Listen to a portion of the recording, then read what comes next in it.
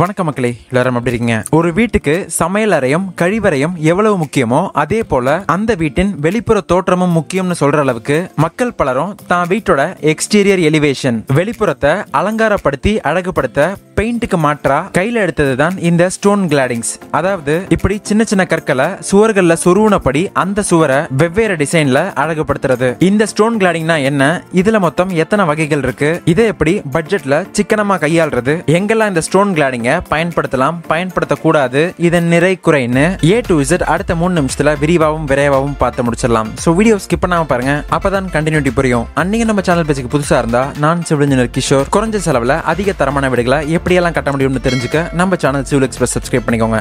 இப்போ வாங்க வீடியோக்குள்ள போலாம். ஸ்டோன் கிளாடிங்கிறது ஒரு பொருளுக்கு மேல இன்னொரு பொருளை வச்சு பின்னாடி உள்ள பொருளை முழுசா மூடி மறைக்கிறது தான் கிளாடிங்னு சொல்லுவோம். ஆக வழக்கமான சுவரை இந்த சின்ன சின்ன ஸ்டோன்ஸ் கற்களை பயன்படுத்தி மூடி மறைக்கிறது தான் நம்ம ஸ்டோன் கிளாடிங்னு சொல்றோம். இந்த ஸ்டோன் கிளாடிங்க சுவர்களை மட்டும்தான் பயன்படுத்தணுமே தவிர மாற்றா ஃப்ளோர்ஸ் தரைகளில் பயன்படுத்தவே கூடாது. ஸ்டோன் கிளாடிங்க ரெண்டு வகைகளில் சுவர்களில் செயல்படுத்த முடியும். அதுல ஒன்னு வெட் கிளாடிங் இன்னொன்னு ட்ரை கிளாடிங் இந்த வெட் கிளாடிங்கிறது சிமெண்ட் கலவையையும் சில ஸ்ட்ராங்கான அடசிவ் பசைகளையும் ஒன்று சேர்த்து சுவர்களில் ரெகுலர் டைல்ஸ்களை பதிக்கிறது போல ஸ்டோன்களை ஒட்டுற முறை. ஆனா இந்த ட்ரை கிளாடிங்கிறது செவத்தை துளி கூட ஈரப்படுத்தாம சிமெண்ட்டுக்கு வேலையை கொடுக்காம வெறும் ஸ்க்ரூ கிளாம்ப் நட்டு போல்ட்னு இப்படி ஃப்ரேம்களை சுவர்களை துளை போட்டு உருவாக்கி அதுல இந்த கல்லை கிளாம்ப் போட்டு டைட் பண்ணி ஃபிக்ஸ் பண்றது. இந்த ஸ்டோன் கிளாடிங் முறை அறிமுகமான போது ஆரம்பத்துல பலருக்கும் பிடிக்காம போறதுக்கான முக்கிய காரணம் முன்னெல்லாம் இப்படி ஒன்னு ரெண்டு மூணு நாலுன்னு ஒரு குறிப்பிட்ட ஆர்டர்லயும் ஷேப்லயும் சின்ன சின்ன துண்டு கல்லா வாங்கி அதை பொறுமையா சைஸ் வாரியா செலக்ட் பண்ணி செவுத்துல ஒட்டி நம்ம எதிர்பார்த்த ஒரு கரெக்டான டிசைனை உருவாக்குறதுக்குள்ள போதும் போதும் ஆயிடும். இதனால வேலையாட்கூலியும் வேலைக்கான நேரமும் வேஸ்டேஜும் கூட அதிகமாகுதுன்னு பலரும் இந்த ஸ்டோன் கிளாடிங் பக்கமே வராம இருந்தாங்க. பின் ஒரு மாறுதலா?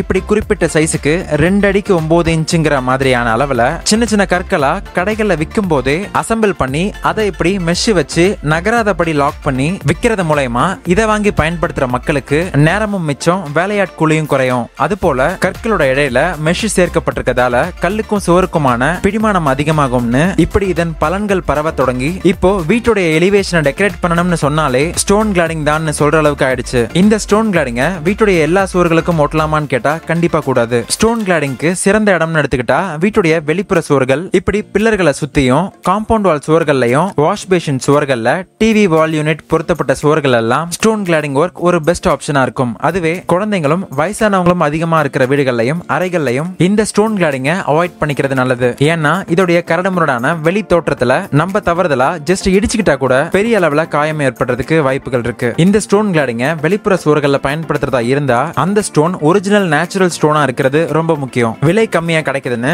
லோ குவாலிட்டி ஆர்டிபிஷியல் ஸ்டோன்களை பயன்படுத்தினா ஒரு சில வருடங்கள்லயே அதன் கலர் டோட்டலா ஃபேட் ஆயிடும்னு ஞாபகம் வச்சுக்கோங்க. இந்த ஸ்டோன் கிளாடிங்க்கு ஆகக்கூடிய செலவுன்னு பார்த்தா பேசிக்கான மாடல்னு எடுத்துக்கிட்டா கூட ஒரு ஸ்கொயர் ஃபீட் ஸ்டோன் கல்லுக்கு மட்டும் நூத்தி பத்து ரூபாயில இருந்து கிடைச்சிட்டு இருக்கு இந்த ஸ்டோன்களை ஃபிக்ஸ் பண்ண மெட்டீரியல் அடசிவ் பேஸ்ட் ஆர்ட் கூலின்னு இதுக்கு தனியா அறுபது ரூபாய் ஒரு ஸ்கொயர் ஃபீட்டுக்குன்னு எடுத்துக்கணும். ஆக மொத்தம் ஒரு ஸ்கொயர் ஃபீட் ஸ்டோன் கிளாடிங் செய்யறதுக்கு நமக்கு நூத்தி எழுபது ரூபாய் செலவாகும். நூறு ஸ்கொயர் ஃபீட்டுக்கு பதினேழாயிரம் ரூபாய்னு இப்படி எலிவேஷனுக்கான பட்ஜெட்டையும் முன்னரவே முடிவு பண்ணிக்கோங்க. இந்த ஸ்டோன் கிளாடிங் கண்டிப்பா உங்க வீட்டை அழகுபடுத்தும். அதுல சந்தேகமே இல்ல. ஆனா ஆறு மாசமோ இல்ல வருஷத்துக்கு ஒரு முறை அந்த ஸ்டோன் ஒர்க்ல இருக்கிற இண்டு இடுக்குகள்ல உள்ள டஸ்டையும் அழுக்கையும் கிளீன் பண்ணி மெயின்டைன் பண்ணணும்னு ஞாபகம் வச்சுக்கோங்க. ஒருவேளை தேவைப்பட்டா கல்லோட கலர் சூரிய வெளிச்சத்திலேயே ரெகுலரா படுறதுனால நாளடைவுல மங்கிட்டா அதுக்கான கிளீனர் கெமிக்கல்ஸ்களை வாங்கி பயன்படுத்திக்கிறது. வெறும் தண்ணியில கிளீன் பண்றதை விட நல்ல தோற்றத்தை கொடுக்கும். அடுத்த ஒரு இன்ஃபர்மேட்டிவான வீடியோவில் உங்களை மீட் பண்றேன். நான் சிவலிஞ்சர் கிஷோர். Thanks for watching.